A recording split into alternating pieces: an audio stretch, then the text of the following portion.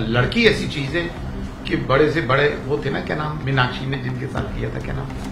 जो पेड़ के नीचे बैठे थे। मेनका विश्वामित्रा जैसे भटक अच्छा जितने बाबा लोग जो जेल में है ना ये सिर्फ़ वही है जो लड़कियों के मामले में फंसे ये है अजमेर में मौजूद ख्वाजा गरीब नवाज़ की दरगाह, जहाँ हर दिन देश दुनिया के अलग अलग हिस्सों से अलग अलग मज़हब के लोग हज़ारों की तादाद में पहुँचते हैं। अपनी दिली मुराद पूरी करने के लिए ख्वाजा के दरबार में पहुंचकर मन्नत मांगते हैं। इस बीच दरगाह के एक कादिम ने एक ऐसा बयान दे डाला है, जिस पर बवाल खड़ा हो गया है।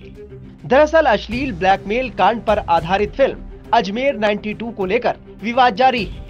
इस बीच अजमेर में खादिम की संस्था अंजुमन सैयद जादगान के सचिव सरवर चिश्ती का सोशल मीडिया पर एक विवादित बयान वायरल हो रहा है।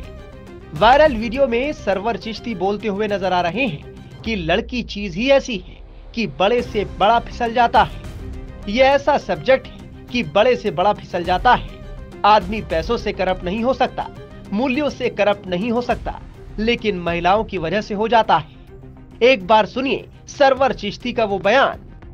लड़की ऐसी चीज़ है कि बड़े से बड़े वो थे ना क्या नाम? मीनाक्षी ने जिनके साथ किया था क्या नाम?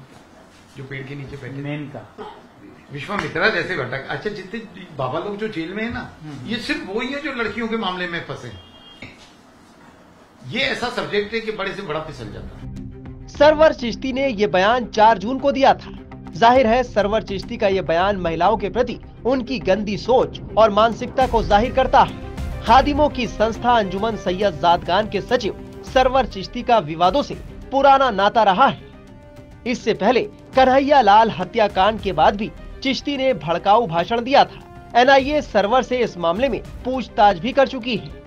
इसके अलावा सरवर चिश्ती पर पीएफआई से संबंध होने के भी आरोप लग चुके हैं। Times Now of Bharat Digital की रिपोर्ट।